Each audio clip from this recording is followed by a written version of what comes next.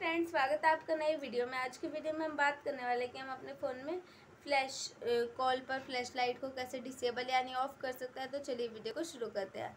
सबसे पहले अगर आप हमारे चैनल पर नए हैं तो चैनल को सब्सक्राइब और वीडियो को लाइक करना ना भूलें। जैसे कि आप लोग देख रहे हैं, हमारे पास रियलमी का फ़ोन है। आपको ऊपर की तरफ़ स्क्रॉल करना है। आप लोग को जाना होगा सेटिंग पर। आप लोग यहाँ सेटिंग पर जाएँगे, आप लोग बहुत सारे ऑप्शन देख सकते हैं।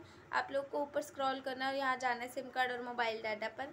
यहाँ पर जाने के बाद थोड़ा और ऊपर स्क्रॉल करेंगे और जाएँगे कॉल सेटिंग पर। कॉल सेटिंग पर जाने के बाद आप लोग यहाँ बहुत सारे ऑप्शन देख सकते हैं। आपको नीचे की साइड स्क्रॉल करना है और आप लोग यहाँ देख रहे हैं कि इनकमिंग कॉल्स पर जो फ्लैश लाइट है आपके फ़ोन में इस तरीके से चालू है। अगर आप इसे बंद यानी इन्हें डिसेबल करना चाहते हैं तो आप इसे बंद कर देंगे।